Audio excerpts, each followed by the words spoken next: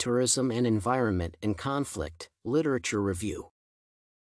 Introduction According to Bajwa and Kaur, tourism and the environment are deemed to conflict concerning pollution tendencies. In the modern world, the aspect of pollution stretches far and wide from air pollution from car exhausts, pollution of rivers from toxic wastes, traffic congestion, as well as the destruction of coastlines. In recent times, environmental ramifications have received critical attention concerning the environment. The demand for tourism has caused damage to the environment by creating many tourist attraction sites. In addition, pollution to the environment has been experienced in tourist attraction sites because the natural ecosystem has been affected.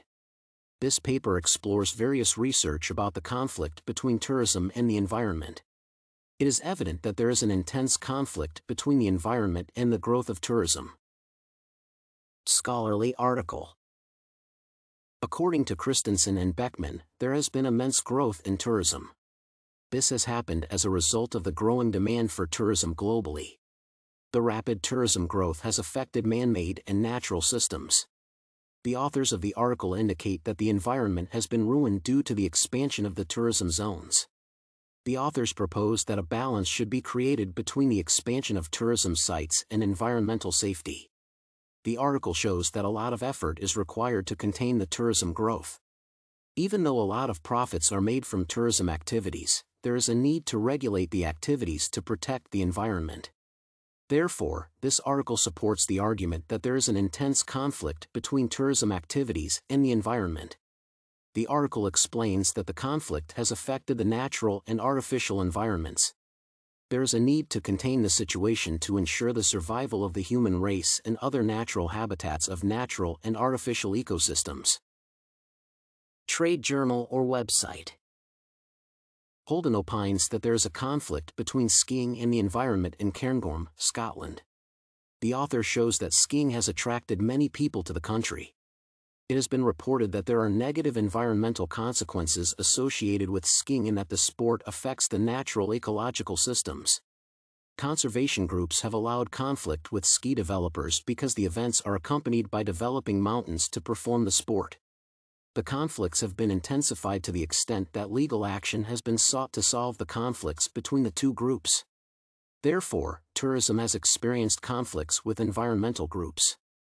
This article supports the discussion in that it shows the conflicts between tourism and the environment. An opinion or news source. Navarro explains that the environment has been affected by tourism activities. The article shows that turtles have been affected in Puerto Rico. The turtles have increased in number, and the animals are hunted for their precious leather. In addition, environmental groups have complained that the growth of turtles in the region has affected the environment the increasing population of turtles has reduced the space available to reserve the animals. There is not enough space to keep the turtles, and this has caused environmental damage to the limited space.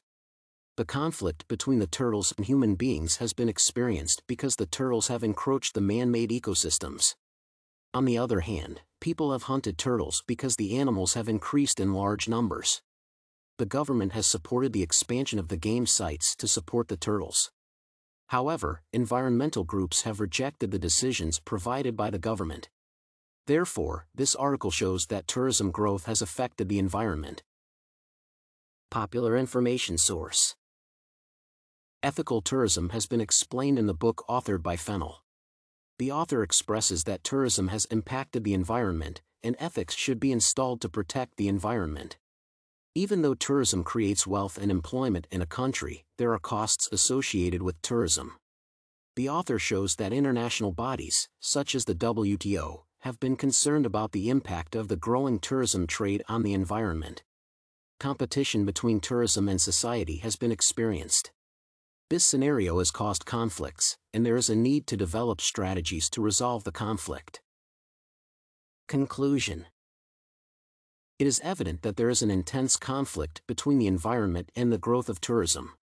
The article analyses show that the demand for tourism has increased in the recent past. The increasing demand has created wealth and employment in countries with tourism attraction sites. However, the rapid growth in tourism has affected the natural and man-made ecosystems negatively. the increase in tourism has caused the destruction of natural scenes to expand the industry. Various environmental groups and activist organizations have campaigned against the expansion of tourism.